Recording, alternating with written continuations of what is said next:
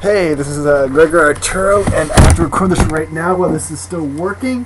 Really, really cool thing. So I just hooked up the Rodin coil, um, reverse polarity DC, so one current one direction, the other current DC, and I ran up to 12 volts, 75 amps through this before I kept blowing the fuse.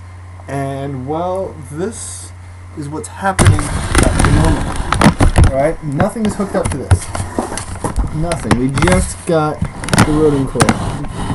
There's these extra cables. I want to be able to see everything. There we go. Nothing besides this, these two cables. And see if you can get this guy. Here we go. These untangled so you don't fall down. Okay. Alright. This is There you go, look at that. We're getting 80 millivolts out of this guy, when before I'd always get zero. So it's like I turned it on and activated the coil. So now the coil is actually putting out electricity. Um, so touching two parts of the coil, front and back, I'm getting 70 millivolts.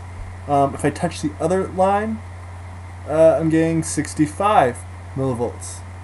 None, down to zero, touch the second, back up to 80. I'm touching two different circuits.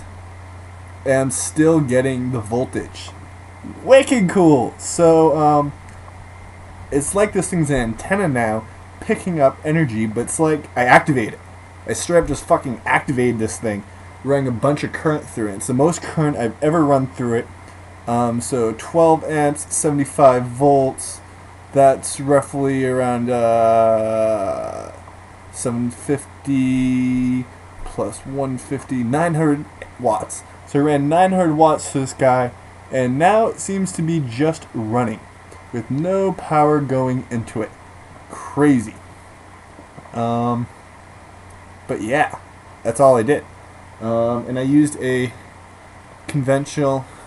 So this is like the setup mode, you know, just that but I ran this little guy through it. Um, 12 volts, 75 amps. Um, and I tried to run AC through it and blew a fuse. Uh, mainly because I didn't have a resistor, so I need to get a resistor to try AC. But uh, yeah, like that's pretty redundant. We'll come back down to my little setup down here. Um, and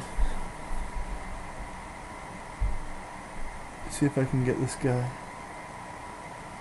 Wow, now we're at 140. So it builds up a charge. And what happens now if I touch it?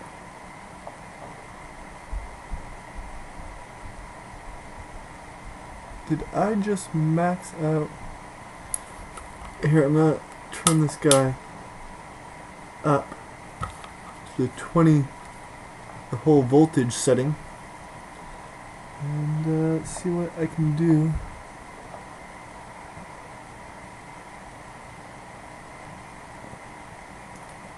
A little thingy broke. So I have like a little piece of copper I'm touching on it.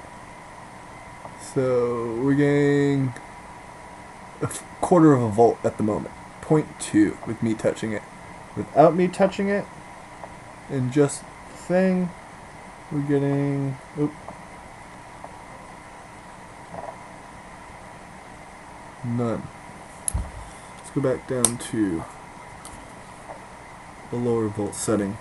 But yeah, um, I don't know what I did besides just like turning the thing on.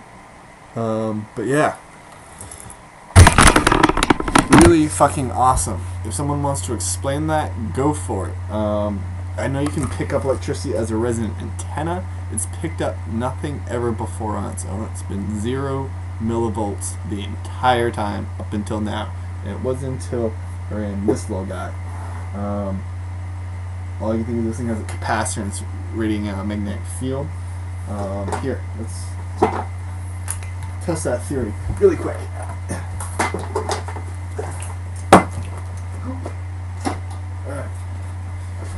That guy away.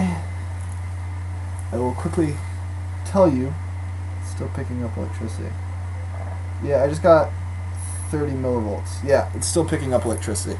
So um, it's not that magnetic field from the uh, or electric field from the uh, that DC converter. So um, yeah, I don't know. Someone to explain this? It's pretty cool. Um, it does, unlike other Rodin coils, it has five quartz crystals in it.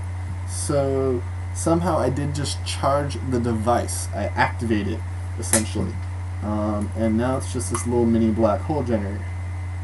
Um, oh, not to mention, I tried this earlier, taking this between your hands and basically doing Reiki on it, and this thing will just start to take off, and it sort of sends you in a little psychedelic trip.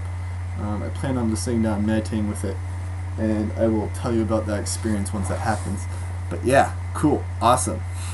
That is my little science experiment for tonight. Ciao.